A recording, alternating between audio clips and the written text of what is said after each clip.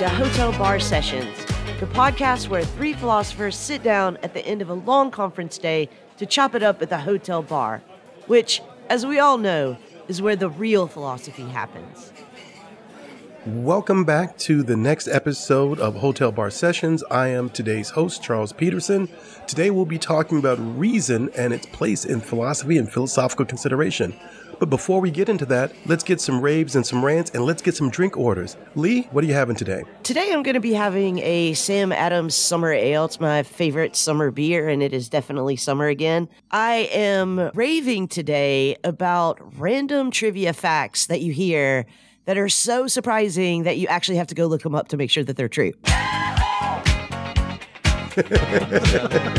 so the one I heard yesterday is Rod Serling started the Twilight Zone because they wouldn't let him produce a teleplay about the Emmett Till murder. I did not know this. Did everybody else know this? I did not know that. I was yesterday years old when I found that out. I think you and I must have been reading the same Twitter feed and it popped up. when I saw this, it made me remember the days when you'd be out with your friends and somebody would say something and you're like, that can't be true. And you just didn't have any way to look it up. And so, you know, you just had to either be like, you're a liar or no one will ever know. yeah. Unless the bar you happen to be in had a whole set of Encyclopedia Britannica. Yeah, right. the fact that we'd gotten to the point where we're having to do real research on random facts. There's something so weird about that, but okay, I'll go with it. Rick, what are you having and what's your rant or your rave? Well, I'm sad to say that I'm going to have a tea with lemon and honey, and that is because I have COVID. I'm feeling much better now, but I went through some feverish nights that were not entirely pleasant. But I've turned the corner, my fever's gone. Uh, you could hear I'm still congested and incredibly fatigued. We're pulling for you, Rick. Yeah, man. Sorry to hear that. That's just shitty. No hot that's, toddy. That's a club nobody wants to be a part Thank of. Thank you. I blame Sweden. yeah, two people. uh, Well, I'm the second person from this event I was at who have now tested positive. My friend is like, Do you think the conference was a super spreader event? I said, I think Sweden was a super spreader event. and apropos of COVID, I am raving about the love and kindness of my family here in Poland. My sister in law and her husband have been looking out for me.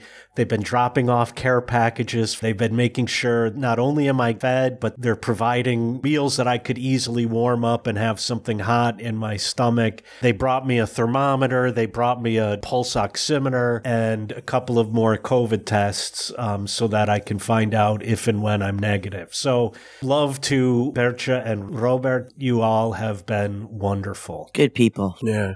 God bless them. What about you, Charles? What are you drinking and what are you ranting or raving about this week? You know, I talked to Noel, who understands my need to slough off fancy pants drinks for the summer. It's 97 here, and I'm just going with the old Milwaukee. You know why? Because there's nothing special about it. It's not great, but it's got two features I like. It's cold and it's wet. So thank you, old Milwaukee, for being able to supply the basics. God bless the old lawnmower beers. That's right. Kudos yeah, to you. Exactly. My rave is the pleasures of summer reading.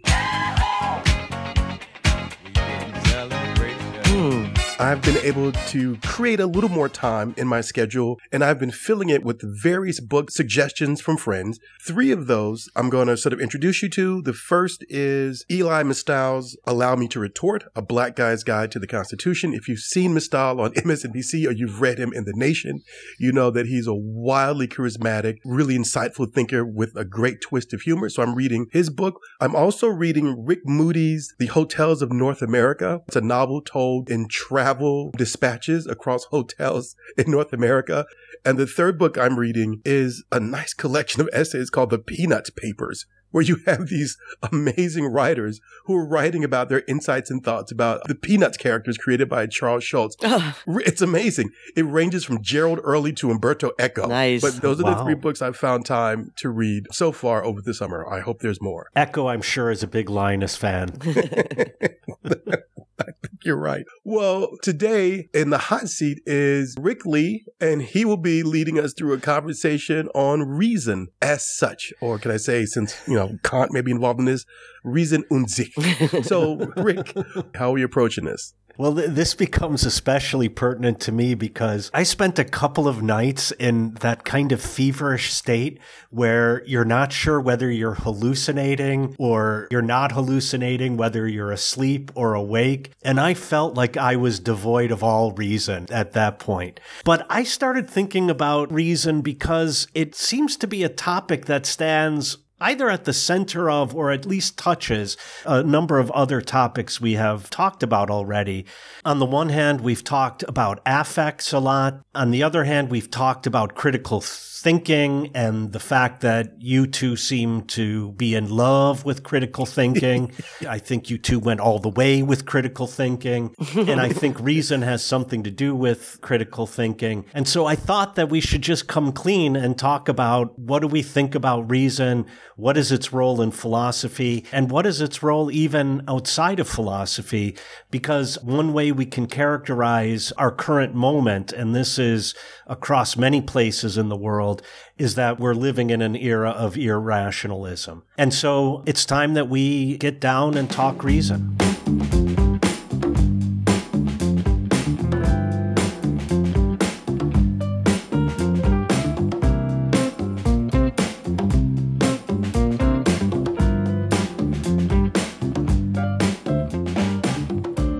What do we mean by reason? It's the Johnsonian query that I like to initiate, right? and I hope I'm doing you proudly. You are.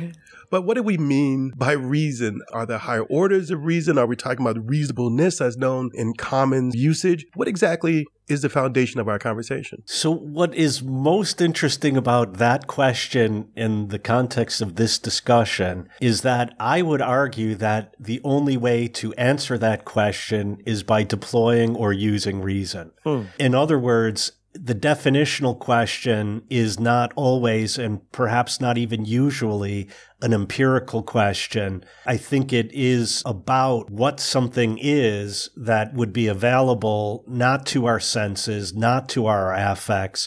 And so whatever it is that allows us to define things, that would also be part of reason. I like this description that one finds in Thomas Aquinas about reason, namely that it is actually a kind of defect in humans. He says we think by discourse and the Latin word for discourse comes from the root discurrere, which means to run back and forth, mm. or as I like to translate it, to run hither and thither.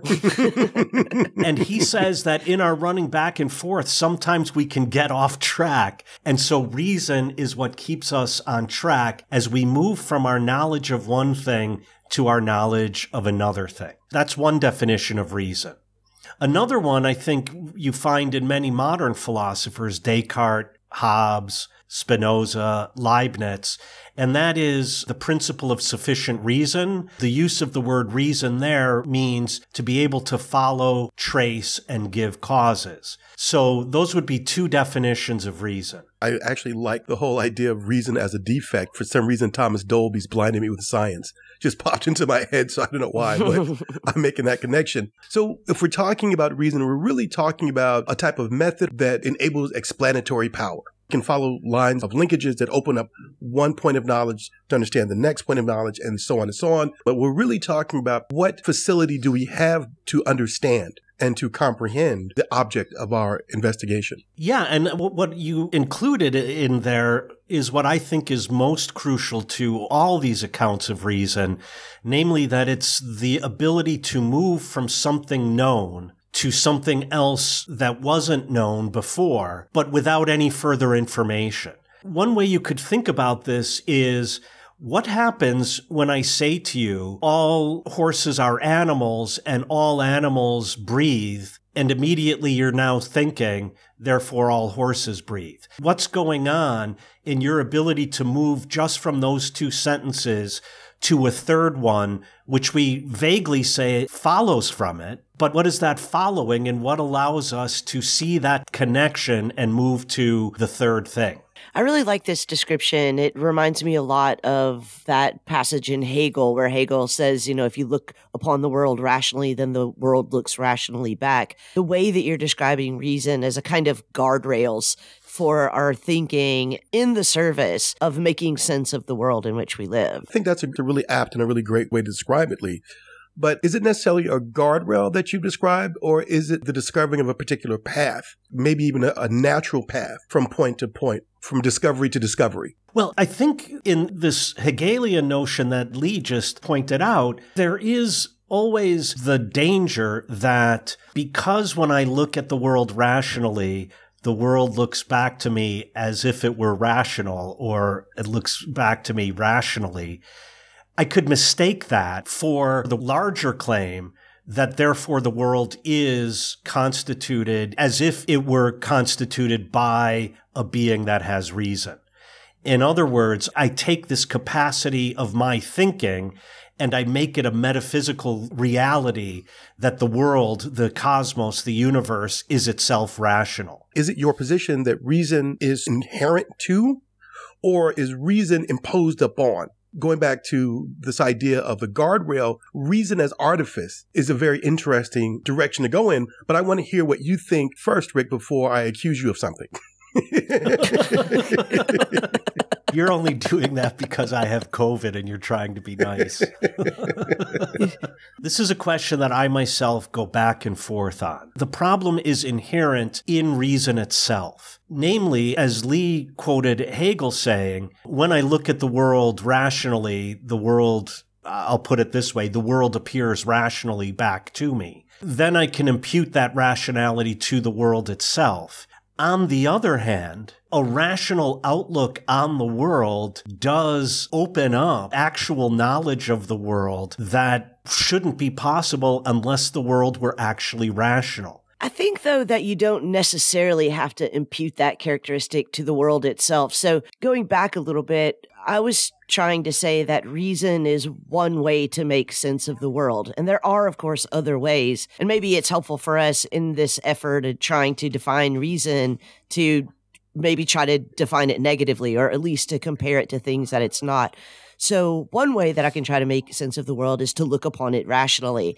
I could, of course, look upon it superstitiously. I could look upon it with my emotions. I could look upon it with my actual sensations. I could actually look upon it. and those would make sense of the world in different ways than reason does. And I think in some ways, those alternatives would be deficient. There would be things that I could not know, I could not come to know because I was using a non rational mode of trying to make sense of the world. But I don't think in any of those instances I necessarily have to impute to the world some inherent order or metaphysical characteristic because it's appearing to me in this way as a kind of reflection of the way that I'm making sense of. I like where we're going with this. And in my mind, as Leigh was laying out her point, I want to think about reason as just one of many possible logics that function in the world. Leigh laid out the various ways that one can look at a world. I want to use, personally, I want to use the word in terms of thinking about the logics of the world. And though reason opens up certain ways of understanding the world and certain processes within the world, what I also like is the fact that there are certain processes in the world that reason cannot account for, but other what I'm calling logics can account for. So Adorno has this text called Stars Down to Earth, which is an analysis of the astrology column in the Los Angeles Times. and one of my main takeaways from that book is the argument. So he doesn't say this anywhere in there exactly, but it is my upshot of the book that in a capitalist society, even the irrational has a logic. And that kind of argument, Charles, I think goes to your point that something like astrology within capitalism is performing some role and function that we could trace out. But then I wonder, can't we just, as you just expanded the term logic, then I think we should also expand the term reason and rationality there is a reason for the astrology column in the Los Angeles Times that I think we can't uncover what that function is, as Leigh was saying, either by viewing the world aesthetically or affectively or religiously. Religiously. We need this capacity that now, okay, expanded in how we're defining it would allow us to uncover something like the function of NFTs in a capitalist society. But I think that when we're looking for the logics in any of those things, what we're doing is rationalizing, yes. making those irrational things make yes. sense in a way, have an order, have a logic. I don't think that there is a logic to those things. I think that finding the logic is a rational operation. Yeah. And I think one of the reasons why I would want to agree wholeheartedly with you on that is because it seems as if I say that those things are rational, then I must also say, and therefore they've been developed on purpose to fulfill that reason. Whereas if I say, look, I can bring these to intelligibility and I can bring them to intelligibility by rationality, but that doesn't mean they were developed in the same way that I discover them. So I don't need an argument by design in order to analyze and understand, for example, capitalism. Yeah, and it works in the reverse as well. I mean, I might want to resist saying that there's a logic to our superstitions in the same way that I would want to say there's not a smell to mathematics. Your math stinks. but that could just be a limit to one's ability to perceive these things. And this definitely sounds like a conversation we had a few seasons ago around superstitions, thinking about the rationalizations that people engage in. Well, and this is why many Enlightenment philosophers would claim that superstition arises the moment that we can't determine what the causes of any given thing are. Once we can't determine the causes, then all sorts of possible, I, I don't want to say explanations, I don't want to say accounts, but approaches to the phenomena emerge simply because we're unable or unwilling to trace the causes of something. Why not use the word accounts? So this is the nerdy historian of philosophy. That's what I'm coming for. That's what I'm here for. Bring it. I spent a period of time reading, I think, pretty much the complete works of Hobbes. And somewhere in that reading, I read him saying that there is a difference between the Greek word logos and the Latin term ratio, both of which are frequently translated as reason in English. They both can be also translated as account. But the Greek word plays in the word field of language. So it could mean definition, it could mean concept, it could mean word. And so account in that sense of putting to language what something is or is about. Whereas Hobbes argues, ratio plays in the word field of accounting. It means initially an account in that sense, like we're going to settle accounts, debits and credits and so on. But in both, it's Aristotelian usage, and then I think through the Middle Ages and for modern philosophers, to give an account is what reason does. And so I would not like to use the word an account for something that is not deploying reason. Hey, listeners, before we have too many drinks and it slips my mind, if you can't catch us at the hotel bar, you can catch us on Twitter at Hotel Bar Podcast. You can also follow our HBS hosts individually on Twitter to catch their off-air thoughts. You can follow Charles at at C underscore F Peterson. And Peterson is with an O, not an E. O, not an E. Rick is at at Rick Lee Philos. That's Rick Lee with two E's and Philo spelled like half of the word philosophy. And Leigh is at Dr. Leigh M. Johnson. The doctor's abbreviated, and Leigh spelled L E I G H. I wanted to look at the other side of this, and I love this term guardrail. I think that's really interesting because certainly it makes me think about what's within those guardrails, but I also now want to think about what's outside of those guardrails. And can we talk about what exactly is it that reason, let's call it scientific reason, enlightenment based reason, as the center of our conversation? What exactly is reason sort of guarding against? What's outside of this parameters? What is the unreasonable? And is there a fear of the unreasonable? Pascal has this sentence that I find one of of the most horrific sentences a philosopher has ever uttered.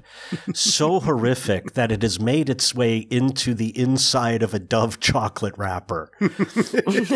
and that is the heart has reasons that even reason doesn't know. He's saying this positively, and he's developing a positive vision of affects, particularly love, against the overextension of rationality. This from the mouth of the same one who gives us a proof, not for the existence of God, but a proof to believe in the existence of God that is probably the most rational, the most coldly rational, the most calculatively rational than any philosopher has ever given. He is showing that anything that belongs to affect is on the other side of reason. So one thing is the affective is by definition non-rational. That's not to say it's irrational but it's certainly non rational. And again, you know, Descartes' Passions of the Soul goes through this remarkably detailed account of all the various emotions we have and what's their bodily component and what's their cognitive component and so on. And all of this is in the service of, in the end, to be able to help reason overcome emotions because they are always overcoming us. So affect is a big danger, I think, to a number of philosophers, especially those who are on the more rationalistic side. I do like the way that you began that with distinguishing between capital R reason and reasons. And this is something that I often do with my students. I'll say, you know, you can give reasons for things that you do that are not rational. And there I'm really using rational to mean logical. And I say that mostly because right. I don't want them to fall back on this idea that everyone has their own rationality, right? Yeah. Like that rationality is like an opinion or an affect or something like that. And I mean, I'm not entirely sure that I'm all the way down committed to that position, but I do think that it's essential when you're teaching intro to philosophy to impart that as if it were, yeah. you know, yeah. an inviolable dictum for the class or whatever.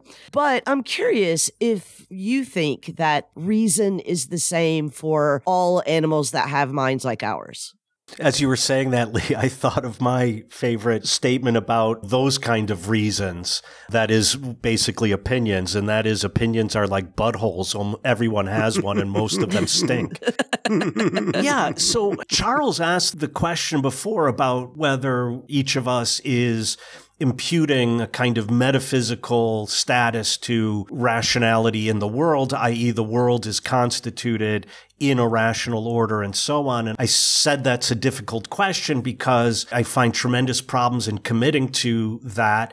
But on the other hand, there is knowledge that reason delivers about the actual world.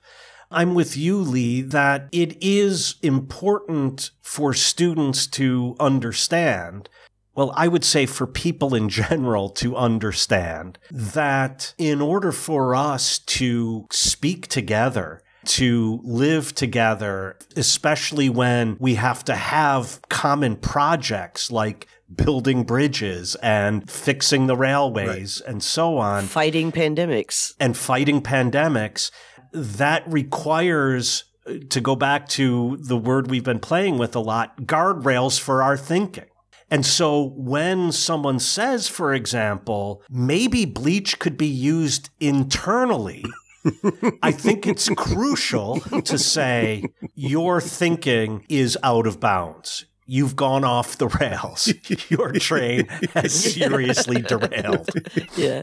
So, can we talk about this question of what's within boundaries? And for all the listeners, I agree. One should not ingest any type of bleach in order to fight COVID. Bold I, statement. I know I'm going out on a limb. Well, I live in Ohio. It really is a limb. but how do you feel about really strong light? Look, everybody knows that you fight COVID with thoughts and prayers. Let's just move on. no, that's gun violence. Oh, sorry. Come on, Leigh. Let's right. Let's get the logic straight. But in terms of the ways in which reason or certain types of reason or scientific reason is able to yield particular results from our understanding and engagement with the world, is it one that has to be attached to the question of the ability to once understood now control or establish control over the world? So is reason a part of a particular complex of thinking that facilitates an empowerment of sorts? over and against, let's say, early humanity's sense of threat and vulnerability to the natural world. Now that reason becomes a tool by which to reverse that relationship. And that's how we can determine the efficacy or the correctness or the proper boundaries of reason. So I want to float this as an answer. I think that the primary good of reason is to enable functional human societies, that its primary good is social it does that by instituting guardrails, by setting rules, by saying some things are out of bounds and some things aren't. And so to get to the second part of your question, it is very much about control. And so it can go very wrong in that sense. But that is necessary for functional societies to exist and persist, for there to be control over all of these other ways that we make sense of the world our affects our emotions our superstitions our religious beliefs imaginations etc i'm wondering charles you mentioned two what I would call different either uses of reason or even maybe two different styles of reason. And I'm going to rely on a distinction. I don't know who the first was to make it, but it certainly comes up an awful lot in Horkheimer and also in Adorno, namely the difference between instrumental reason. So this would always be ends attached. So if you tell me you want to get to Krakow, then I can deploy my reason to find the best, cheapest, most efficient, and so on way to get there. Now, that kind of reason is unable to say, wait a second, should we? right? And so one example I could give of this is a movie was made about the Wannsee Conference, which was the leaders of the Nazi regime. They were asked to meet in order to basically devise the final solution. You had people talking about transportation problems and supply problems and paperwork and how we're going to move all of that paperwork and, you know, keeping track and so on. And yet, not a single person in that room stopped and said, Hey, you know, here's a thought. Maybe we shouldn't. And there you see the distinction that Horkheimer was making and why he was so troubled about the fact that instrumental reason, particularly in capitalist societies, will shove out the other kind of reason that can talk about norms and values. And so I think that in many ways, we're pretty good in the United States. Well, no, that's that. I was about to say we're pretty good at deploying our instrumental reason, but even that now has been shaken. And I think we've given up even on instrumental reason. But until recently, we were pretty good at talking about how to make businesses more efficient and so on and so forth. But we weren't ever, I think, very good at talking about what should our society look like? What does it mean to be free? Should everyone have a universal guaranteed income? Should we care for one another in terms of health? We've never been very good at using our reason to provide guardrails for that kind of discussion because we've been so used to reasoning instrumentally. But it does seem that we have been good at using our reason in the Latin sense, ratio. Credits and debits. Right, credits and debits, right. but not reason in the logos sense, like providing a grammar of the world, where the world is the kind of world that makes sense in the way that we believe it should. I love that phrase, grammar of the world. That's really nice.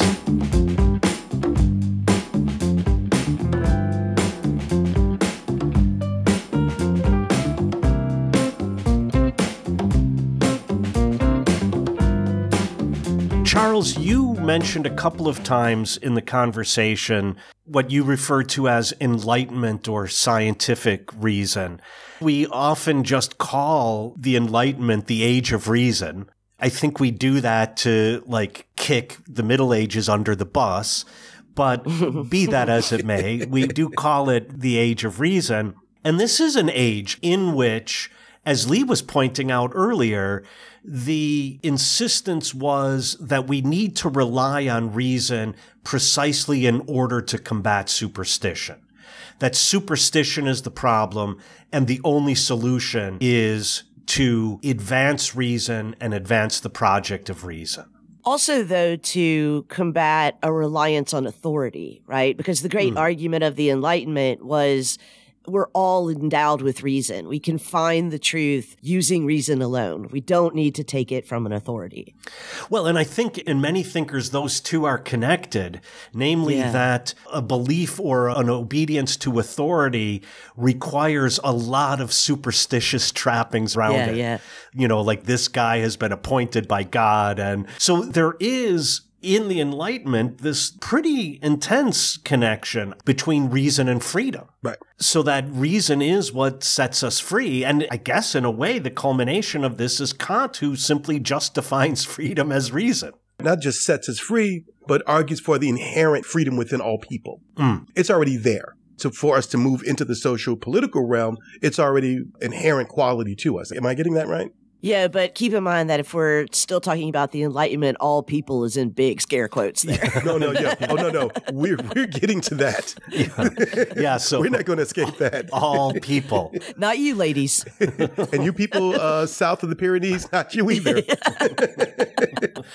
yeah, but also, in addition to that, you see these projects of a universal history, maybe starting in Kant, at least Kant is the first one I know of, that argue that in fact, if one is able to look at history rationally, then one sees that history, when viewed rationally, is the movement toward ever greater and increasing freedom.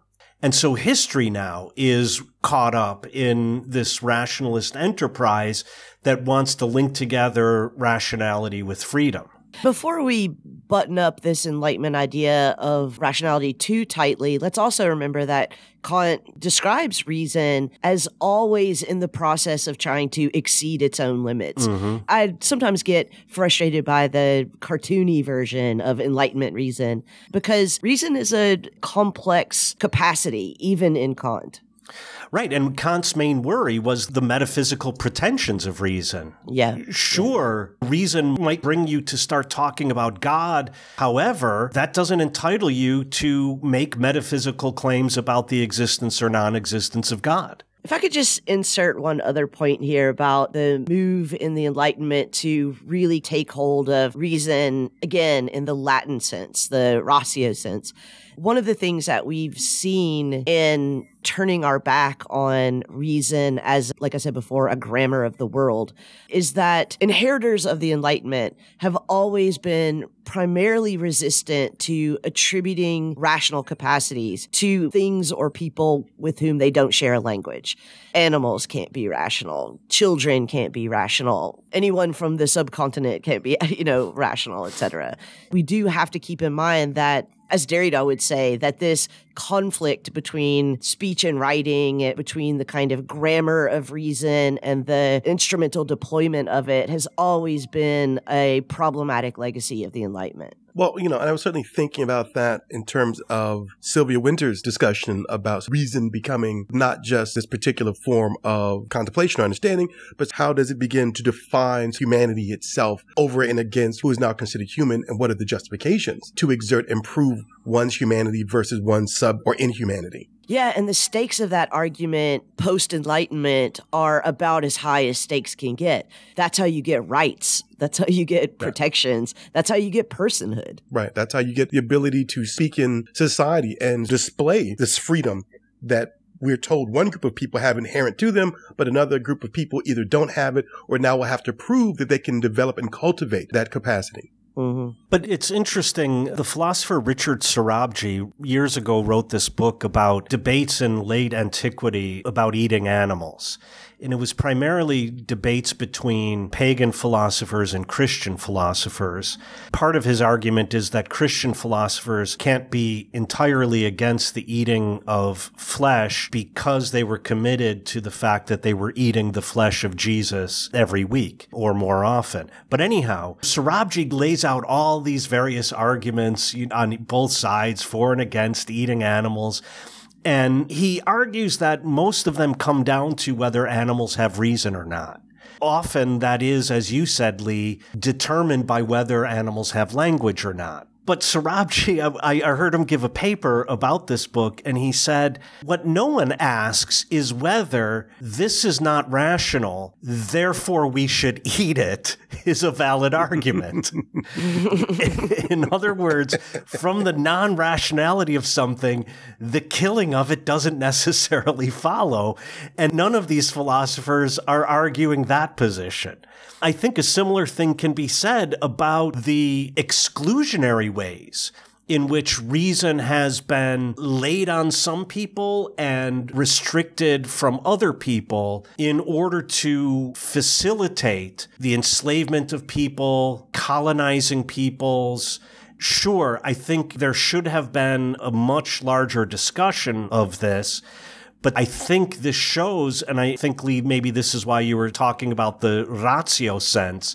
It shows that even the description of who is rational and who is not now becomes instrumental. Mm-hmm there's no reason deployed in determining one human is rational and another human is not rational. I mean, this whole conversation certainly speaks to why in grad school in the 90s, there's very real hesitation about the Enlightenment Project. Yeah. Because of these types of contradictions and the resulting actions, policies, and histories from these contradictions. So based on that, enlightenment itself and the very idea of reason as understood within the context of the enlightenment now becomes a very dubious value from a perspective of people that do the work that I do or people who existed historically the way that I've existed. But you know, I had a former colleague that once said in response to a paper that was given at our department it was kind of a critique of the Enlightenment Project and this universality of reason.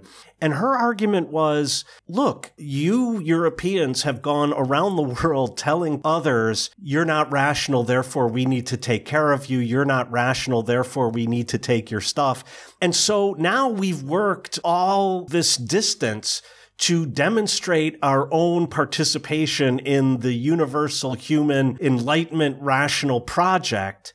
And that's the moment now where you want to say, oh no, that was bad. We're not doing that anymore. We're playing a different game. and what's the instrumentality of collapsing the game at the moment that others have started playing it pretty well? I mean, I want to say this with some hesitation, but I am really torn about arguments that I hear that are broad critiques of Enlightenment reason or inheritance of Enlightenment reason because I wonder what's the alternative? So, just going back to the very beginning of our conversation, we said reason is one way to make sense of the world. And there are, of course, many other ways to make sense of the world we use reason because it allows us to make the world sensible in ways that are both instrumentally useful for us and also interesting, I think, to us. Now, if we were trees or fungi or squirrels, we would have a different way of making sense of the world. And it would be through some capacities that we human animals share, you know, sensations, instincts, affects, etc and it might also include language, but not a language that we can understand. So the idea that there are other ways to make sense of the world other than reason as we've inherited it from the Enlightenment, yes, fine, willing to accept. The ways that reason has been deployed maliciously and sometimes in devastatingly colonialist ways, and therefore should be critiqued, yes, 100% I accept. But the deprioritization of reason, I can't accept unless you can show me something that's coming in its place. Because I'm not sure that I want to say, yes, this was a project that had a lot of problems and has caused the world to be problematic in ways that I don't like. Therefore, let's all just operate on instincts now, or let's all just operate on our emotions, or let's all just, I don't know, operate on our sense of smell and taste and touch. that seems to me a far inferior proposition. I want to distinguish reason as a process by which we are able to understand productive, beneficial insights into the world and how it functions versus I think what I was referencing which is the North Atlantic, the European, the quote unquote Western project of reason through the Enlightenment, which has the results that Leigh, you just pointed out. And so, of course, yeah, we have to have some way to understand the world in order to gauge with it, better understand it. So reason as process versus the only way that we can understand and embrace reason is through this particular historical, cultural, geographical, racial, so forth and so on lens. Other civilizational units, other parts of the world, other populations can display reason and probably have the same results possibly without having the same type of repercussions that this Western European Enlightenment project has had in its use of reason. Well, I want to defend what I thought Leigh was saying. And Leigh, if it's not what you were saying, then I'm sorry. But first of all, to go back to the important point Leigh made earlier, that Kant, who is the one who asks the question, well, he doesn't ask it, he's actually responding to an essay contest, but answers the question, what is enlightenment? He's the very one who tells us that the critique of reason is part of the project of reason itself. And so Enlightenment European North Atlantic reason ought to have been capable of preventing the disaster, the disasters which were brought about. I don't think there's anything that necessarily follows from an Enlightenment, let's say Kantian notion of reason that leads directly to the enslavement of peoples or the colonizing of vast sections of the globe. Quite the contrary. I think there should have been an intense critique, and I think we need an awful lot of reason to figure out why Reason wasn't able to provide that critique in the moment in which it was most needed. So there is a way to defend even the Enlightenment notion of reason against the ways in which the concept of reason was deployed against non-Europeans around the world the critique of Enlightenment reason is itself a rational project, is deploying that very same Enlightenment reason in order to point out how it's been misused and misappropriated. Completely agree with that. I suppose for me, the question is really about what I hear underlying those critiques, which is to deprioritize reason. So it doesn't have to be the sine qua non of making sense of the world. And that is something that I find myself very resistant to because what is it going to be replaced with? What's going to be the more important principle now? And I worry that the only other one that makes sense is something like belief or faith. And you could talk about how that looked in the Middle Ages, where we're really talking about religious belief, or you can talk about how that looks now, where we're often talking about opinion, opinion as if it were fact or had the same functional capabilities as rationally determined facts. And I think both of those are incredibly problematic worlds that I don't want to live in. And I think one other alternative to reason is the naked and direct application of violence. Mm. which is also a world I don't want to live in. But I think also, let's say the abuse of reason that I think we're talking about arises out of there becoming a superstitious faith in reason itself. Yeah. Which yeah. is why I think the critique of reason ought to have sussed that out and prevented it. And I'm not convinced that the abuses of reason could have been detached from the historical project that we're discussing. I'm not quite convinced of that. And once again, not to say that other groups of people who have developed a particular project of engaging and understanding the world would not have had their problems.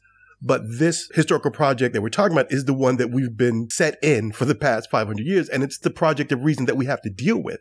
I can't say that there is a way for what has happened not to have happened under this particular way of thinking about the world that's being developed in a very specific historical moment from a very specific group of people who have their own biases, beliefs, ideas, and desires to construct the world in a certain way.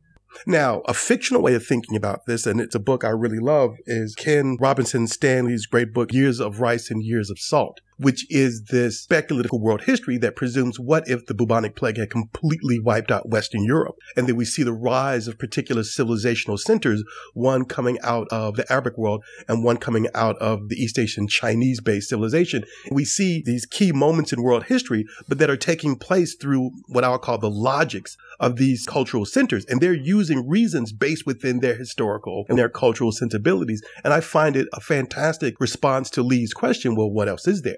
If we're not going to consider this particular historical project that we're talking about now? So I like that you use the word the logics there because that's what we should critique is enlightenment logic. And I think that logic uses reason and rationality in a project of contract and domination. The problem is not reason, enlightenment reason, or enlightenment rationality. The problem is enlightenment logic and the projects to which that logic was being put to use. And I'm not convinced that the so called logic is not unrelated to the early emergence of capitalism in Europe, which then compels a logic all of its own. From that moment on, reason takes on a flavor that it didn't have prior to that it's incredibly difficult to divorce those two from one another. Especially when it is coincidental with the rise of what we now call modern science and the resituating of human beings as the most powerful actors in the universe. Mm. Yeah, totally agree that there are so many projects that are happening at the same time. Enlightenment reason gets put into a logic of various kinds of projects, which is, I think, again, a move from logos to ratio. Yeah, I agree.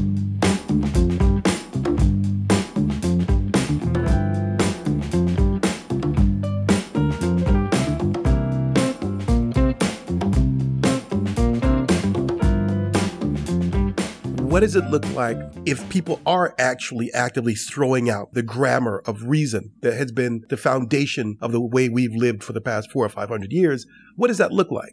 So I have a story that I think for me is illustrative.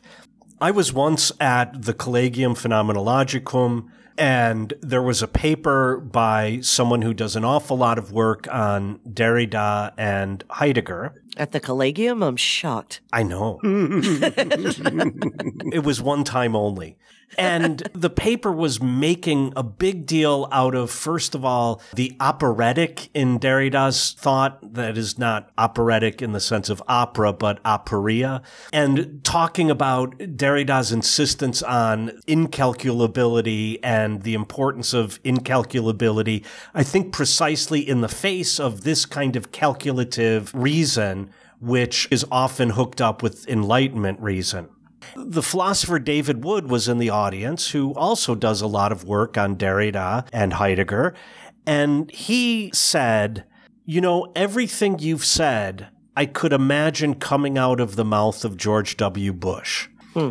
Do humans have an impact on global climate? Undecidable, incalculable. Who knows? Are there weapons of mass destruction in Iraq? Undecidable incalculable. Who knows? Yeah. And he yeah. said maybe the point we should now be making is if something is calculable, then calculate the hell out of that. and only right. move to the incalculable when something doesn't yield to calculation. And I think David Wood was pointing out there one of the dangers in giving up wholesale on reason and rationality. If I could follow up on that, one of the things that Derrida's work over the course of his career pointed out was that all systems, as he says, auto deconstruct, that they have excesses, that they have margins, and that they produce remainders and traces that are exactly as you said, often undecidable, unpredictable, incalculable. And so one of the things that we ought to re-emphasize when we're critiquing the project of enlightenment reason and all of the terrible things that it has done is that there are some things that are incalculable. There are some things that are yes. undecidable.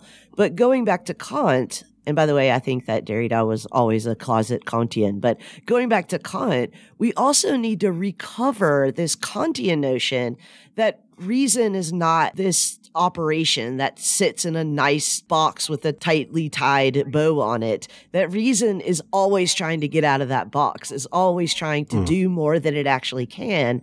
In that sense, reason might not always be the best way to make sense of some things, to echo what Rick just said. But where it works, reason at it. right. And it seems that the earlier question about reason in terms of being able to understand and think through questions of values versus reason in terms of thinking about debts and credits Because to me, when you were saying that, Leigh, the momentum of reason popped into my head. And the momentum of reason is what takes you to figure out, well, how long will it take the trains to move between Auschwitz and Buchenwald? That's where the momentum of reason will take you. If you're not careful, if you don't have this logos sense of reason and think about values and the ethics of a particular reasonable or rationalized operation. Yeah, because there is a large group of people out there today who present themselves as these logical, rational, problem solving, correctly apprehending the truth of the world as it is people who are also neo Nazis, white right. supremacists, idiots. If you watch them, if you watch people like Richard Spencer, he looks like an assistant professor from, you know, the community college down the street and he speaks like that. There is a power that that presenting your argument as rational and logical brings with it. And that is an inheritance of the Enlightenment that we really have to get rid of. We have to say that just presenting things in a way that mimics reason, mimics a logic, mimics a kind of rational approach to the world they're not all the same. They're not all made the same. And we have to resist that. So, if I might plug myself, some years ago, I wrote a book called The Force of Reason and the Logic of Force. And one of the sides of my argument was that, as Leigh was just pointing out, there is inherent in reason that it itself become a force. Mm-hmm. That is, it itself becomes something like a counter reason or anti reason. And yet, what I wanted to also argue is that we need something like reason in order to be able to analyze, trace, and deal with the operation of force. To keep within that tension of preventing reason from slipping into a force so that we are able to use reason as a tool to help us deal with force, I think is really crucial. And therefore, the wholesale rejection of reason I find incredibly troubling and maybe even dangerous. Yeah, and we have to recall that the end product of reason is not always the truth. Often right. the right. end product of reason is to demonstrate that something that we thought to be true wasn't true and we don't know what the truth is or to open up new questions that weren't being asked. I love in mathematics that people have made whole careers on taking something that is known. For example, pi has infinite digits. Like everyone knows that. But then the demonstration that that is the case can make someone's career and they spend a lifetime just on these kinds of proofs of known fact. I love that. I think there is another danger, and that is that we in philosophy, I think, often feel like all questions, even questions of fact, can be settled a priori. Yeah. and I think we need to get over that.